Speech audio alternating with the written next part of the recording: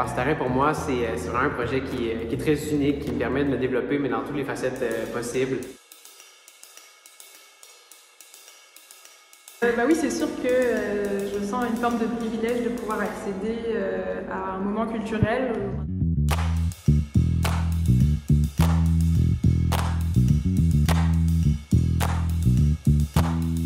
Hors terrain, pour moi, c'est un moyen de m'émanciper.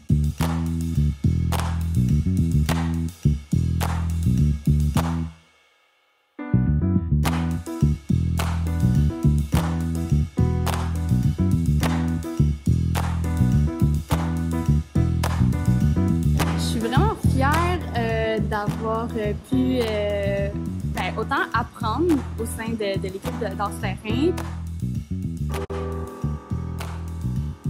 Bonjour à toutes et à tous. Depuis 13 ans, Art Souterrain illumine les couloirs et les cachettes de notre mythique Montréal Souterrain, une signature distinctive de notre métropole. Faisant sans cesse appel à des gestes artistiques surprenants, chaque nouvelle édition du festival confirme sa capacité à nous plonger dans des univers aux imaginaires éclatés. Au fil du temps, il est devenu un rendez-vous incontournable en art visuel. Art Souterrain a cette qualité qui lui est propre. Au lieu d'inviter le grand public à venir découvrir ses œuvres, ce sont les œuvres qui émergent sur le chemin des Montréalaises et des Montréalais. En jalonnant notre parcours, ces créations nous font redécouvrir les lieux où elles s'épanouissent avec lesquels elles dialoguent. Comment notre relation au temps affecte-t-elle nos liens avec les autres? Sommes-nous portés à multiplier les raccourcis au rythme d'une société axée sur la vitesse et la performance? Pour cette édition du festival, le thème chronométrie vient marquer en filigrane notre itinéraire au cœur de la ville. Et il faut le souligner, Art Souterrain a démontré cette année une grande agilité en s'adaptant avec brio au contexte difficile qui nous frappe toutes et tous. Son équipe a en effet travaillé d'arrache-pied à créer des contenus virtuels accessibles en quelques clics. Le festival joue un rôle essentiel dans la sensibilisation des publics à l'art actuel. Ce travail tout-terrain incarne des valeurs d'accessibilité, de diversité et de proximité avec les publics qui font grandement écho aux priorités du Conseil des arts de Montréal. Alors pour cette raison et bien d'autres, le Conseil est fier de compter parmi les tout premiers partenaires du festival et de renouveler son aide. Alors félicitations à Frédéric Laurie ainsi qu'à toute l'équipe d'Art Souterrain, de même qu'aux commissaires invités, aux partenaires et aux collaborateurs pour leur importante contribution à la vitalité culturelle de Montréal dans un moment où nous, avons, où en avons toutes et tous grandement besoin. Bon festival à vous tous.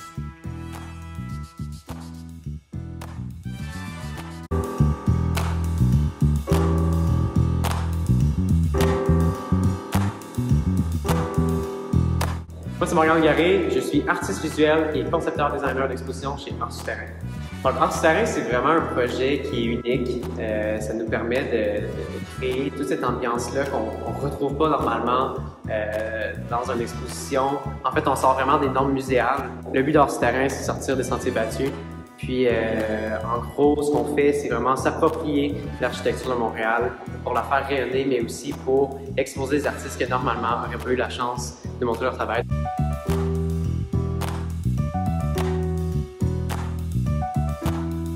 Vraiment, Arstarin, ça a été euh, la meilleure école que j'ai eue. Euh, Arstarin, pour moi, c'est vraiment un projet qui, qui, est très unique, qui me permet de me développer, mais dans toutes les facettes euh, possibles. Ça permet de travailler avec des artistes assez reconnus, des commissaires, des gens du milieu qui se rassemblent ensemble pour faire quelque chose de beau.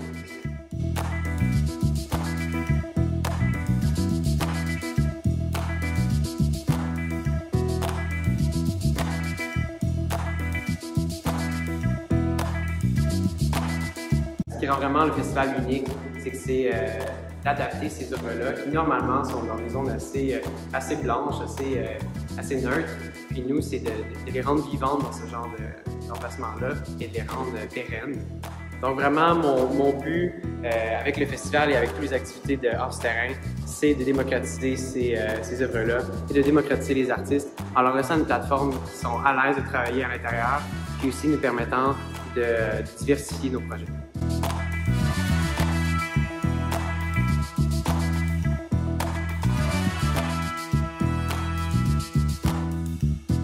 M'appelle Virginie Bonneau. Je travaille chez Hors Terrain.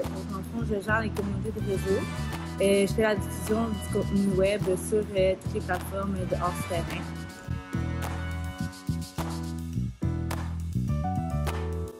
Hors terrain pour moi, c'est un moyen de m'émanciper pour euh, justement euh, plus tard dans faire être dans le milieu de la culture.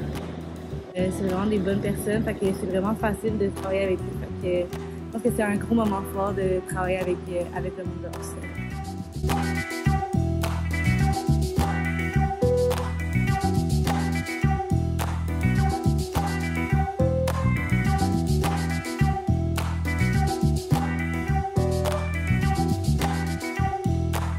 Un, deux, un, deux, ici. Un, deux, un, deux. Salut Moi, c'est Victoria Côté, je suis actuellement stagiaire euh, à la coordination des artistes chez Art Souterrain et je travaille, je avec Eddie Firmin. Euh, à côté de ça, je suis à l'école à temps je suis à HEC en management des entreprises culturelles en écrit.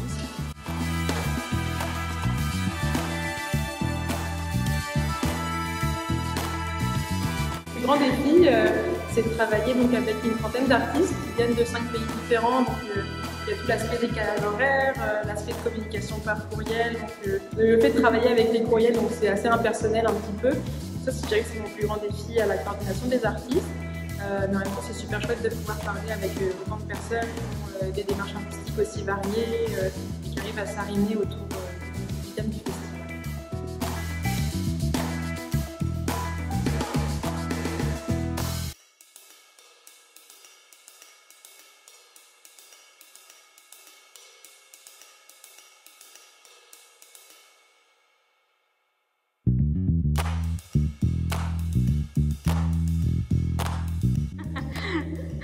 Euh, bah oui, c'est sûr que euh, je sens une forme de privilège de pouvoir accéder euh, à un moment culturel. On n'en a pas beaucoup en ce moment, surtout en présentiel.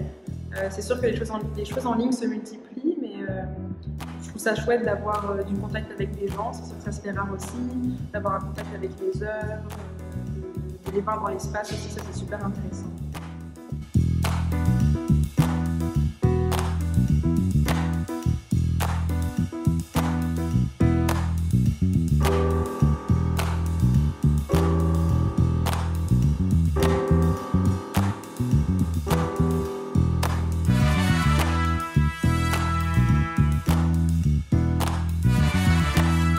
Moi, c'est Marie-André. Euh, je suis assistante aux communications et au euh, développement des événements.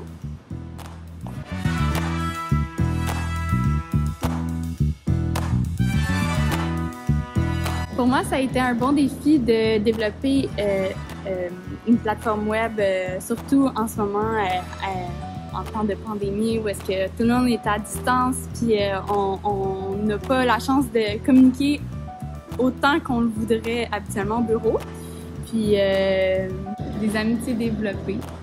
C'est euh, des euh, des 5 à 7 virtuels, toujours, euh, toujours bien plaisants. C'est sûr qu'on aimerait que ça soit en présentiel, mais d'ici là, ben, c'est, ça reste que c'est- c'est super drôle.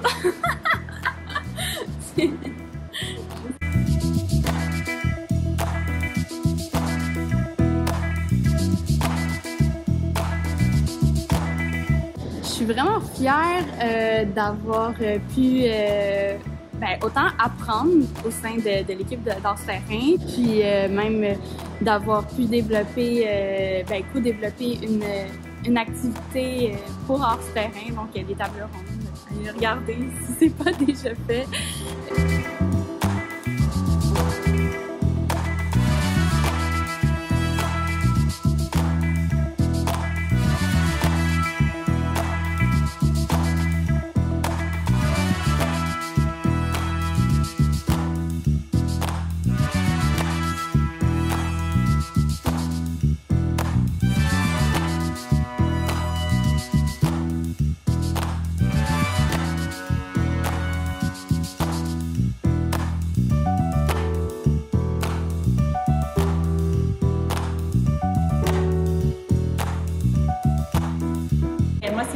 Gagnon. En fait, je travaille pour euh, la coop, le comité. Je suis une des membres fondatrices euh, de la coop qui a fêté ses cinq ans cette année. Donc, nous, en fait, euh, ce qu'on fait, c'est vraiment du design urbain, du design événementiel.